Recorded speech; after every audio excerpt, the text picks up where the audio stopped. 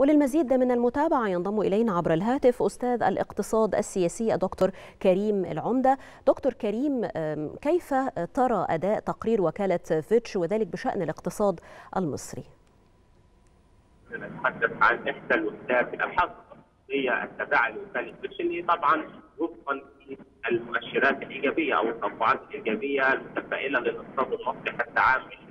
2030 على أنها لحد الاقتصاد المصري كما أشار التقرير يعني سوف يصل إلى 943 مليار دولار، طبعا نحن في عام 2020 وفينا العام السابق وصل الاقتصاد المصري إلى 670 مليار دولار تقريبا مع توقع ان يصل في عام 2025 إلى 870 مليار. وبالتالي طبعا مع معدلات النمو الكبيرة مع التحسن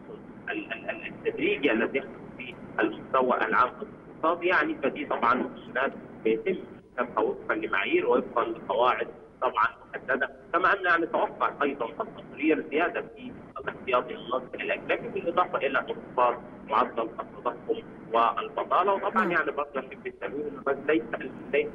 المساله الوحيده أو ليس التقرير الوحيد اللي ينظر إلى الاقتصاد المصري بنظرة متفائلة ولكن يعني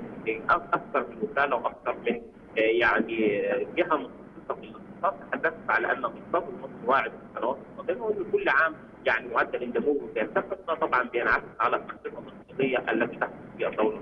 دكتور كريم بناء على ما ذكرناه من أرقام والمعطيات التي ذكرتها الآن من وجهة نظرك هل هذه الإشادات الدولية ستزيد بشكل أكبر من ثقة المستثمرين في الاقتصاد المصري لضخ المزيد من الاستثمارات يعني الأجنبية الجديدة؟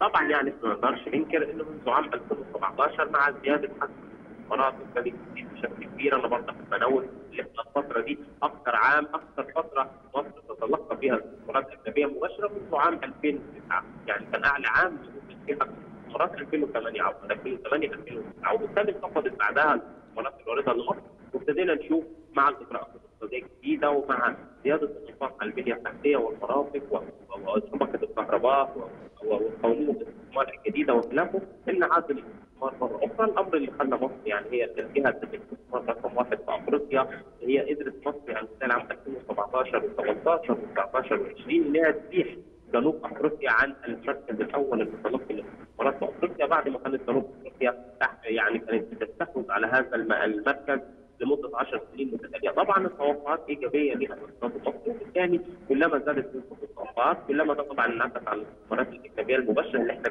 بنحتاجها بشده علشان يعني نوسع القطاع الصناعي والتكنولوجي وتكنولوجيا الاتصالات والمعلومات وهو القطاعات يعني الرائدة اللي إحنا يعني يعني محتاجينها بشده في الفترة القادمة علشان تقود